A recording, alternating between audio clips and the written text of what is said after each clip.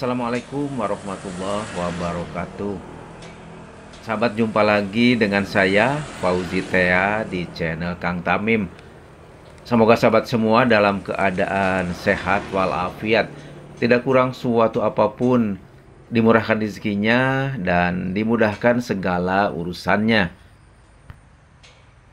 Pagi hari ini tepat jam 10 lewat 42 menit waktu Indonesia bagian Barat hari Kamis 13 April 2023 saya kembali berada di sisi sebelah timur stasiun kereta cepat Tegaluar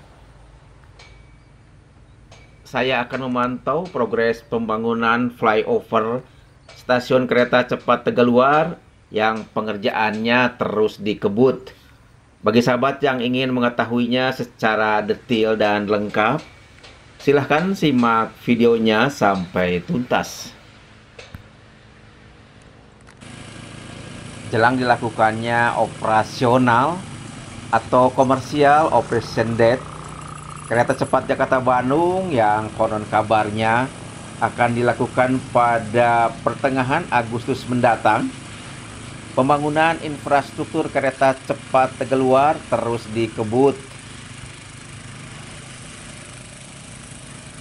tak terkecuali pembangunan flyover stasiun Tegaluar yang berada di sisi sebelah timur stasiun membentang dari utara ke selatan dan berbelok melengkung ke arah barat menuju ke bagian depan atau sisi selatan stasiun kereta cepat Tegaluar.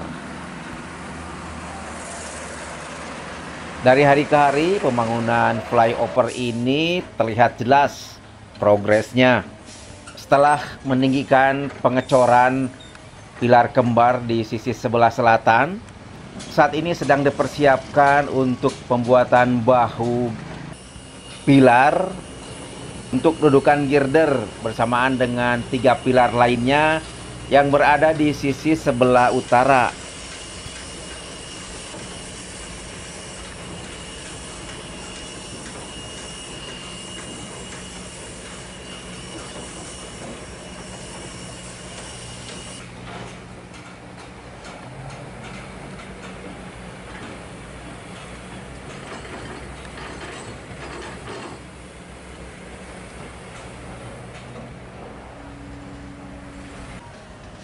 aktivitas lainnya yang sedang dikerjakan adalah pengecoran dua pilar sisi selatan dan persiapan untuk pengecoran pilar lainnya.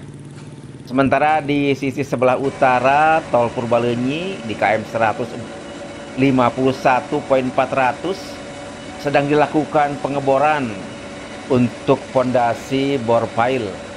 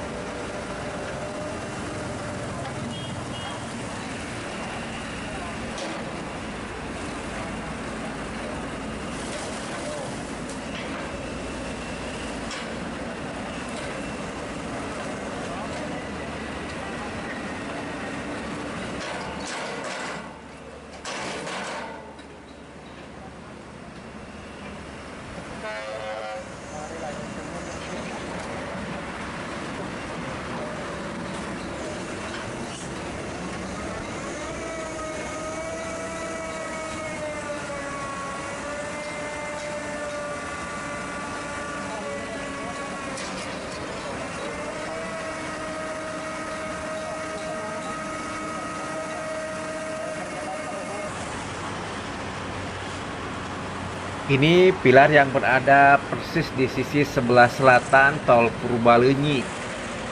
Beberapa orang sedang melakukan aktivitas merangkai rangka-rangka besi untuk membuat bahu pilar atau dudukan untuk girder. Ternyata dudukannya cukup lebar, lebih kurang ada 5 meteran. Pilar ini akan terhubung dengan pilar di sisi sebelah utaranya yang saat ini sedang dilakukan pengeboran untuk fondasi bor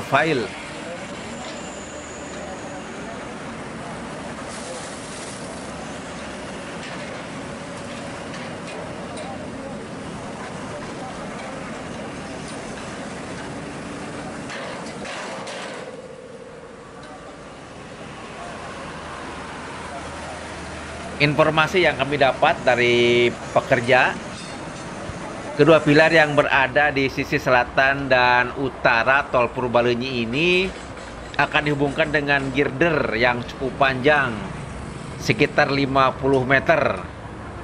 Dan pastinya girder ini cukup berat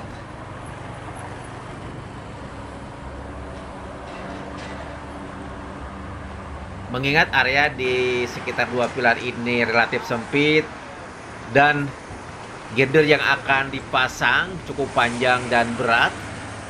Informasinya pemasangan girder akan dilakukan menggunakan girder launcher, tidak menggunakan kren.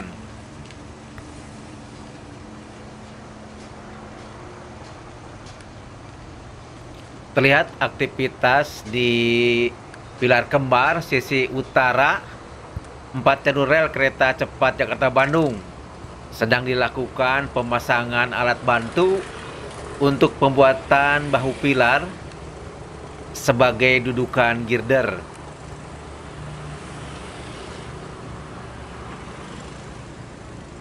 Sisi selatan pilar kembar ini akan terhubung dengan girder. Ke sisi utara pilar kembar di sebelah selatan yang akan membentang di atas empat jalur rel kereta cepat Jakarta Bandung di sisi sebelah timur peron stasiun Tegaluar.